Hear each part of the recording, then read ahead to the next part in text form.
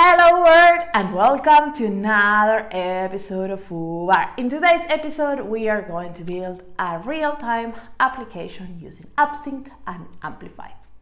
If you want to know more about serverless, cloud computing or software engineer practices in general, subscribe to my channel in the red button below. I post videos on Tuesdays and on Thursdays, so let's get started!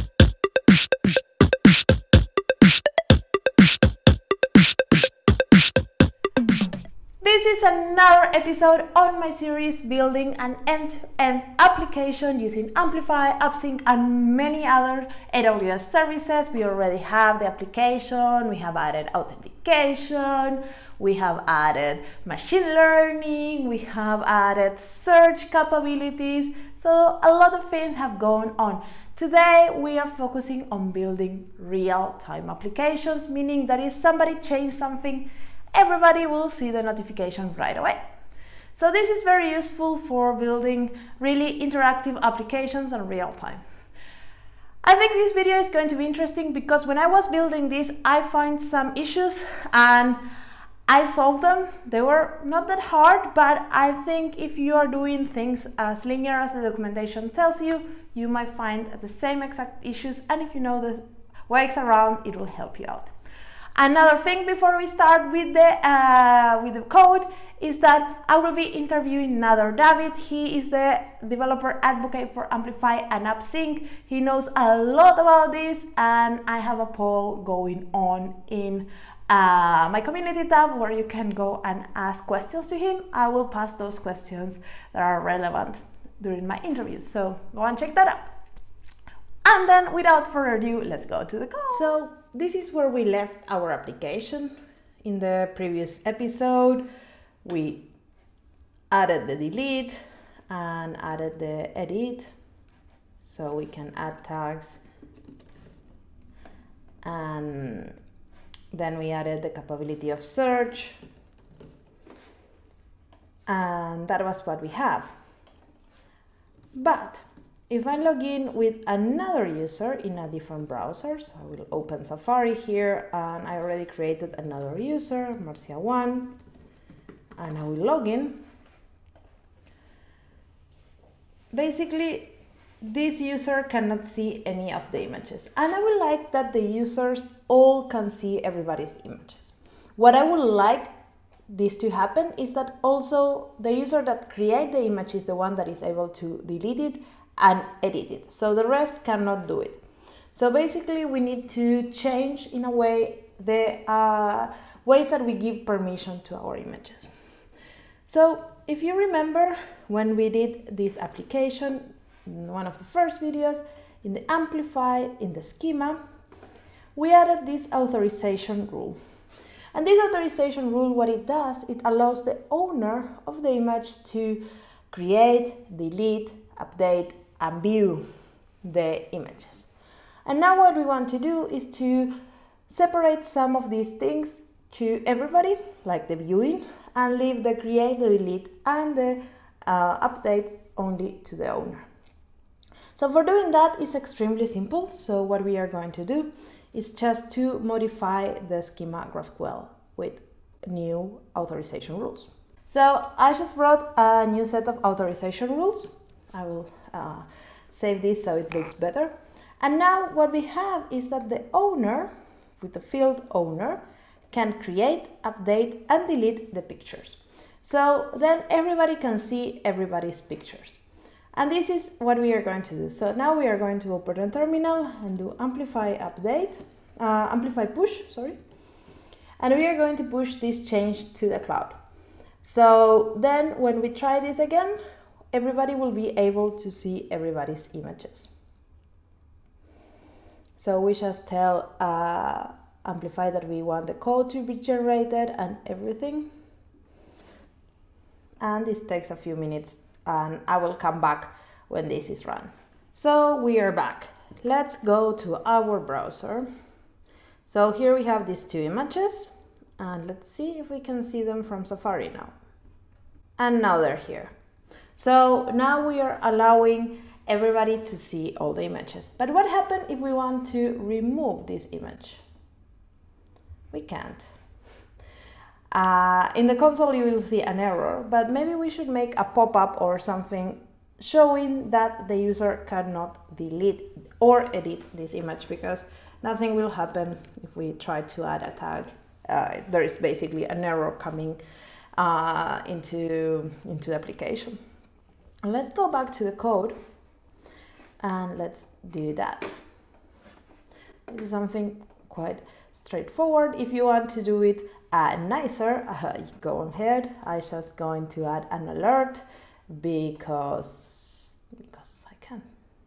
So in the delete image, I'm doing an await here. So now I need to do try and put all this inside a try and then I have a catch. So let's add all this inside the try and then if there is an error we can show an alert. And the same we want to do for the edit. So let's find the edit.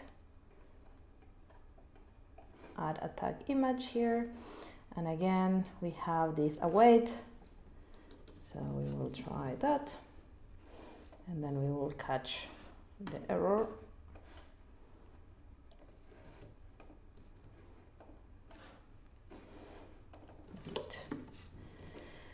So let's see if this works. Let's go back to Safari. and let's try to delete. Good. Let's try to add a tag. Good. And now we can go to Chrome and we can try to delete. And it works. We can add a tag. And this works. So good. We have done the first part. So now the next thing we want to do is add real-time support. So for that, we want whenever we upload an image or we delete an image or add a tag, that the other users can see the effect right away. So real-time works uh, with AppSync and Amplify out of the box. So it comes with this two-way connection that the server will send messages to the client whenever there is a change. And for that, we need to subscribe to the subscription. So if we go to our code, and we go to the GraphQL folder so you can see here subscriptions and we can see that it have created some for us. The thing that I found out is that because of these uh, rules that we just created, these authorization rules, the create, the delete, and the update are attached to an owner. So we cannot use the uh, rules uh, for subscriptions that comes out of the box with Amplify because if we are a different person, then we will never be getting a notification when somebody create, delete, or update a picture using these things. Only the same uh, person will get notified. So we want to create our own subscriptions and then we want to trigger them from our homepage. And this, for me, when I was trying this out, was the trickiest part because I didn't realize that uh, the owner thing for a long while. And I was like, oh, why my subscriptions are not working? So you need to create a new uh, subscription. And for that, it's very, very simple. So let's do it first for the onCreate, and then I will leave you the code for the update and the delete that is basically the same. So let's go to Amplify, to our schema. And in the schema here, we can overload our uh, schema GraphQL. We will add this Basically this what we'll do is to add a new method to our subscriptions.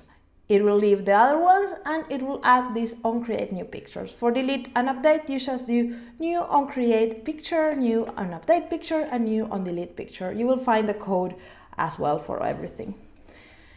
And what we'll get back is a picture and every time uh, this will execute every time the mutation create a picture happens. So then what we need to do is again go to the terminal and run amplify push so we can get that in the uh, AWS account and we can start using it right away in our front-end code. So here we want to uh, accept this and then we want the generated code because this is what will populate the subscription uh, in the GraphQL folder that we want as well. So now I will leave this running and I will come back when this is ready. So we are back. So now we should have this subscription in our AppSync. We can check now that our subscriptions in this GraphQL folder has this new onCreate picture. So we want to now and start editing our home page. So let's go to home and here we will start adding things. maybe removing some lots of uh, console logs. So we want the first thing I want to do, and I will not do it live because this is a pain, because I want to use subscriptions and subscriptions work so much better with React hooks. I want to migrate this particular uh, file, the home page, the component, to a more modern um, React function so I can use the React hooks. I will not go into the details what React hooks are because I, I, I'm not qualified for that. I will say bullshit. But I will leave you a link in the description box about it, and I will also leave you a description box, uh, a link in the description box on how you can do the migration super easy in super simple steps, and that's the steps I will be following. So I will do that migration. I will not add any functionality yet. I will just do the migration from this React component into a React function of this component. And then we can start using the, um, the effects, the use effect hook that will help us with the subscription and it makes the code so much neater than having this. I'm sorry for this, but when I started, I always start with these React components because that's what I'm used to. And then when I started um, coding these subscriptions, I realized that this will be so much harder if I will be using React components instead of the functions. So I will come back when this is translated. So this is the article. I will leave the link in the description box. There is uh, 10 steps and if you follow them, you can change it. So let's go from there. Okay, so now we are ready. This looks more or less the same, but it's changed. so you will notice it in the code. So now the next step is to add the subscriptions. So for adding the subscriptions, we need to modify the home page. We need to use the use effect. I will create a new one. So that will register the subscription using an observable. Okay, I did all the changes and let's walk through them. The first thing we want to do is to import that uh, subscription on a new onCreate picture so we can access it. Then I will have a new use effect. This is the one that we had before. This is the new one. So basically when the page load, what it will happen is we'll run this setup subscriptions. Notice the plural because I want um, to then add the on delete and the on update and it will be inside here. So we have this variable uh, on create that is our subscription so we can unsubscribe later. And here I calling the API from Amplify to subscribe to this thing. So whenever a new uh, picture is created, I will receive the subscription. What will happen when a new picture comes? This is an observable, so it's looking uh, to the subscriptions and it will do this. So basically it will set the picture. We have a new element in our state that is the picture data. I like to separate it because then it's very easy. I just create this uh, new object here, this part of the state, that is the picture. And whenever the picture is updated, because of how the use effect works, it will trigger this method that will get all the images again to the state. So this is kind of super simple when we are using the React uh, hooks because now every time the picture is updated, we are getting uh, something from the state again, so it's repopulating the view. And basically using this, we can do the, update and the delete as well. So then after we subscribe and we decide what will happen, then we will uh, basically have this unsubscription. So whenever we leave this, it gets unsubscribed. And those are the changes that we did. So now we can test this. I will put my two browsers side by side.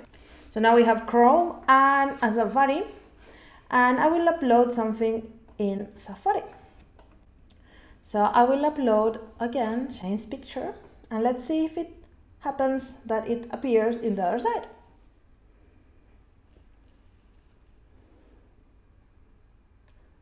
Hop, there is James. Now notice that whenever we add a tag, it doesn't appear immediately because we have not added that subscription. So we need to refresh the page. Well, we need to refresh Chrome so the tag appears. But that's something very simple to fix using the same uh, ways that we just done it. So I will do it very quickly so you can see it, but it's, it's something very, very simple after you have mastered this. So, so again, we need to add the uh, subscriptions in here and then we need to do the changes in the homepage. So I will come back to this code as soon as I have everything ready and we can walk through, but you will see that it's exactly the same that what we had done before. So now the code is done. It's very simple. I just added these two things here because now in our subscriptions we get the two new things because we changed it in our schema so we can import them and then I added these two variables and I added these two subscriptions in our setup subscriptions. One is calling the delete, the other one is calling the update. All of them are modifying this picture. So that's kind of it. And then we unsubscribe. So we can go back to our browsers and I hope this is refreshed, but let's add a tag. I don't think there, I can add it here. Um, serverless, let's see it appears here. Then if I remove uh, the picture of James, it removes. And if I upload a new picture, it comes back. So that's it for the real time. Uh, it's pretty simple to set up when you know what to set up. So I hope this video is useful. You can find all the code as well in GitHub. So that was the video for today. I hope you like it. If you did, give a big thumbs up. If there are other topics of Amplify and AppSync you would like me to cover, let me know in the comments box below. I might or might not be able to add that to this ongoing series, but I will add them in the future if not. So, I hope you like it, and I see you in the next episode of FooBar. Ciao, ciao!